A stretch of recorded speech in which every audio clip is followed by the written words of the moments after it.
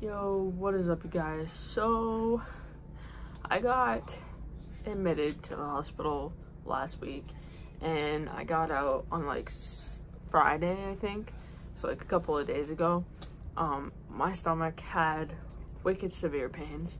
Um, still don't really know what it was completely from, but I'm finally back home. Um, I hate doctor's offices. I don't even know where to start to tell you about the story in the first place. So, moral of the story, I had to have a scope put through my stoma so they could look inside. And what they saw was a bunch of swelling. They saw that my colon was swollen and obviously it's not supposed to be. On top of that, they did CAT scan and they did an MRI and um, they still don't really know what was completely causing it. Um, it doesn't hurt as bad anymore, but it still definitely hurts. So it's going to be a matter of going back up to my main doctor's office because obviously nobody really knows how to deal with my stuff and they don't really understand what's going on, including myself. So um, hopefully we get answers eventually.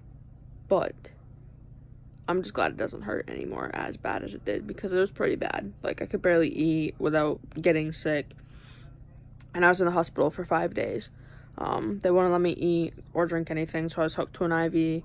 Um, I'm just glad to be home, so that sucked. They thought I had a bowel obstruction, but it wasn't that. So, but there's a lot of swelling inside my stomach, so it could be flare-up, I'm not completely sure, but I just thought I would let you guys know since most of you follow me for my ostomy reasons. So, uh, that was kind of scary, but at least I'm home now, so, um, can figure that out, I guess. But, like, I hate doctor's offices, and, like, my veins obviously hate doctors because anytime they tried to take blood or they wanted to stick an IV in me, my veins, like, disappeared. They're like, uh, they had to poke me four times in order to even get a vein in my arm in the first place. And it sucked. It sucked so bad.